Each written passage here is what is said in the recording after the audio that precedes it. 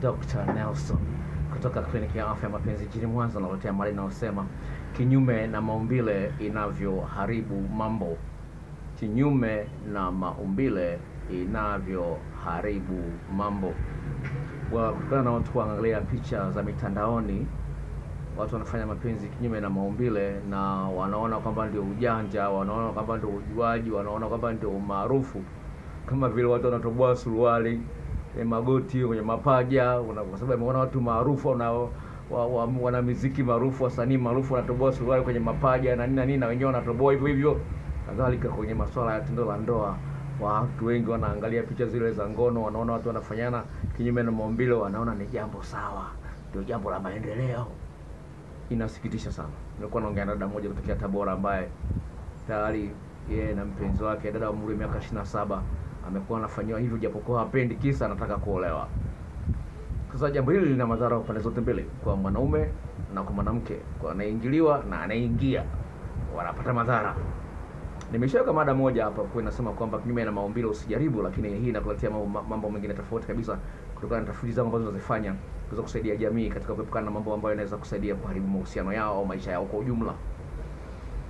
Pale ambapo unaingia kwenye tendo la ndoa kinyume na maumbile, unajiingiza kwenye matatizo bila wewe mwenyewe kujua. Matatizo hayo unaweza ukayaona sasa hivi, lakini yanaweza kutokea kwa mbele na utajuta kwa nini ulifanya hivyo, sababu tayari kuna watu ambao wanajuta. Daktari ambaye ni bingwa katika masuala ya uh, uh, njia hiyo ya haja kubwa na tundu zima lile la haja kubwa ni kuna sayansi inaitwa uh, procto, proctology. Proctology ni ni, ni, ni, ni, ni, ni, madaktari ambao wanasomea njia hiyo ya haja kubwa. Sawa, njia hiyo ya haja kubwa.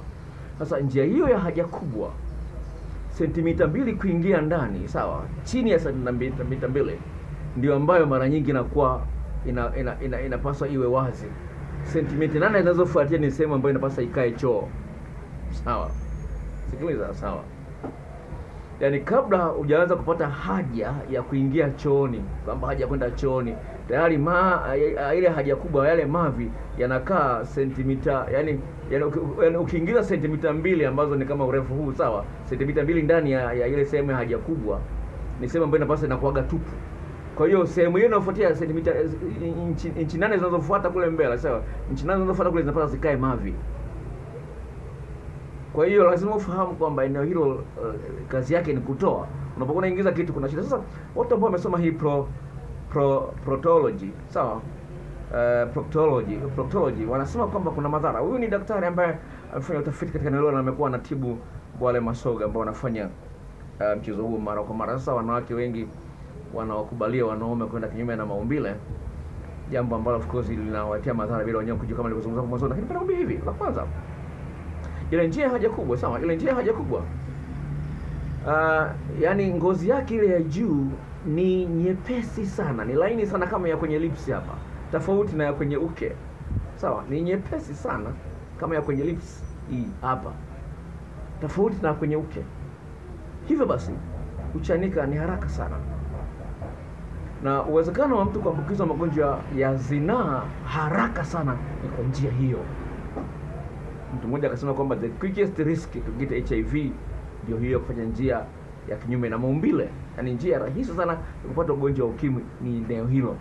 Sasa iwapo mpenzi uliye naye haja una uhakika kama amepima mara tatu, sawa, ili kuthibitisha kwamba hana ukimwi, lazima apime mara tatu kipindi cha miezi kama sita, kama sawa, kama sita, sawa. Sasa kama hajapima, wewe unafanya naye leo, umepima leo hana ukimwi, lakini kumbe umo ndani atakuambukiza. Ni ni pointi kubwa ambayo napenda kuizungumzia hapa.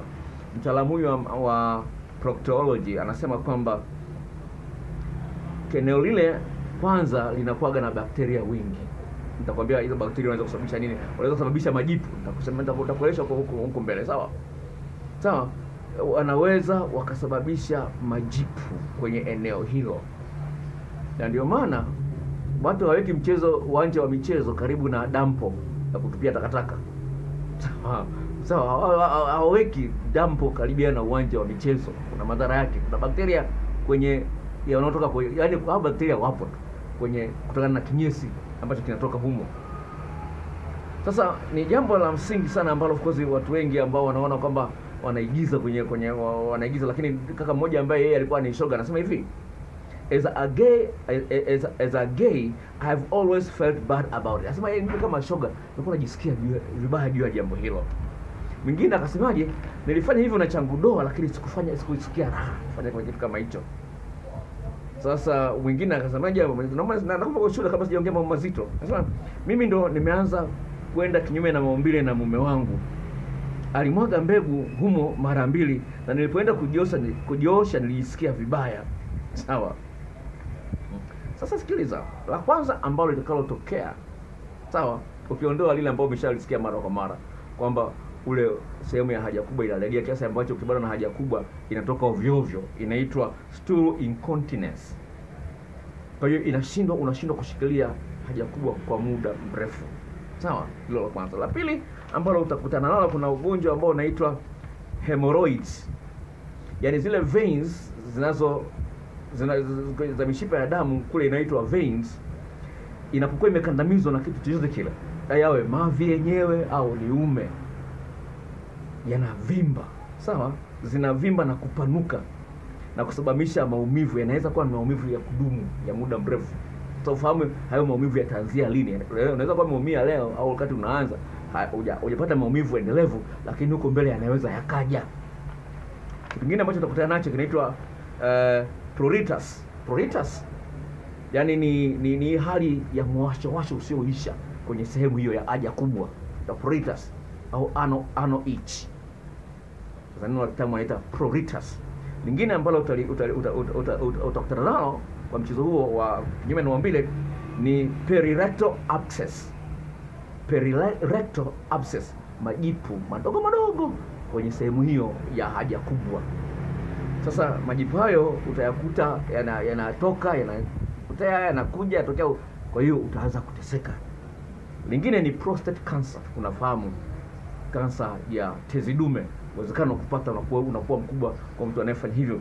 Lingine ni ugonjwa unaitwa prostatitis.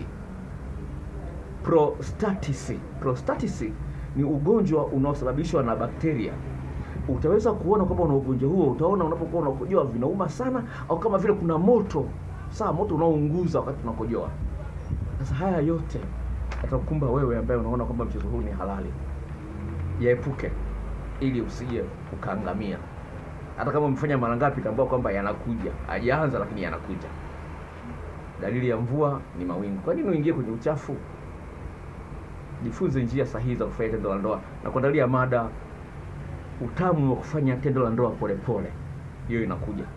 Mada nyingine inakuja inayosema hivi Uh, nimeandika hapa moja ni nisomee, lakini kwenye maandalizi hiyo mada ni mada sipendi kuikosea kwa sababu utaifuatilia. Inasema hivi, mambo yanayoweza kuponya uhusiano unaoharibika, mambo yanayoweza kuponya uhusiano unaoharibika. Hizo video zinakuja, jisajili uweze kuwa mwanachama wa channel hii, uweze kufurahia mambo matamu kabisa. Hii ni kliniki ya afya mapenzi. Jisajili uweze kuwa mwanachama wa channel hii. Kuna kibox chekundu pale kimeandikwa subscribe kwa maandishi meupe, bofya, utapata maelekezo ili uweze kuwa mwanachama wa channel hii, na Mungu akubariki. Kwaheri.